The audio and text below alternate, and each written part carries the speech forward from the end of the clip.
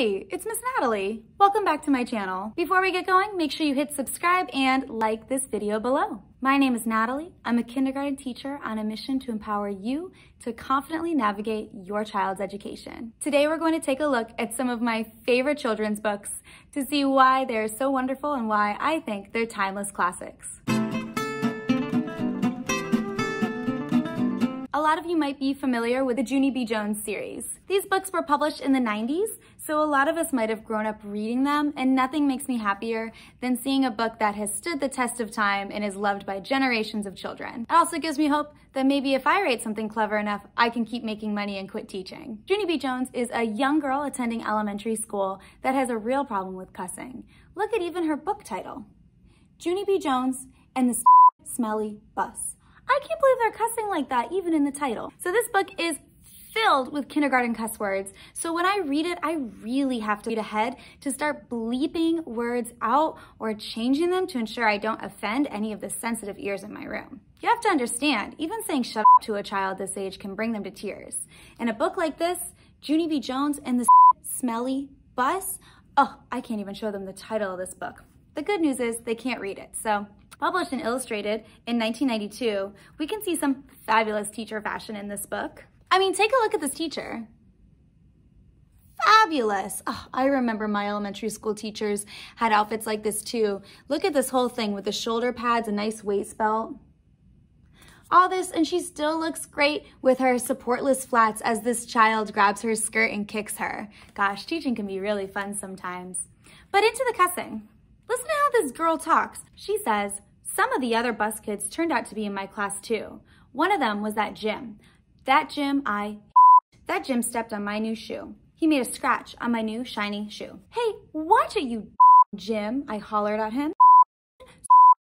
Doors, I hollered. I nodded nicely. I that Jim, I said in my quiet voice.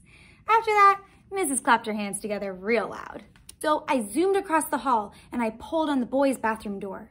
But that thing was locked too. I really do love these books because it gets a great laugh out of the kids. I think I would give this book mm, seven buses out of five. Next book, the David series. The absolute classic one that I've known from the beginning is David Goes to School by David Shannon. This book was inspired by his own writing as a child. He discovered some books that he had written in his parents' basement and decided to make his own children's series off of them. So I love to tell the kids that because I think it's really special. Something he wrote at that young age, he was able to make money off of and make money for decades off of from something he created when he was five. I love the David books. The illustrations are very funny to me especially if you know David Shannon, he is quite the artist, but he starts off and he really did go after what he made when he was this age. I just love to read this because he is the ultimate non-example. So we read all the David series in the first few weeks of kindergarten to show kids exactly how not to be and make sure we're not a David. I really haven't run into the problem of having a student named David yet, but one year I'm gonna have to face that and, and figure out what to do. Anyway, into the book. In this book, David is a total mess. David's late to class every day. Sit down, David. David, raise your hand. And David, just all day long, is a total nightmare in the classroom. And it makes the kids laugh and laugh and laugh.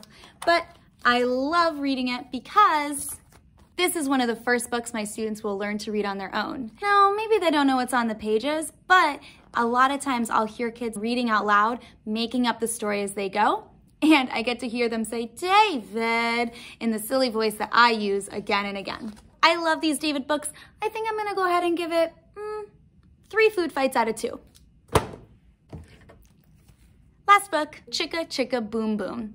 This is one that a few years ago, before I taught kindergarten, I'm not really sure I would have put this in the list. But I remember my first kindergarten class, I had this book planned as our book study for the week. And when I read it, everyone in the class had it memorized.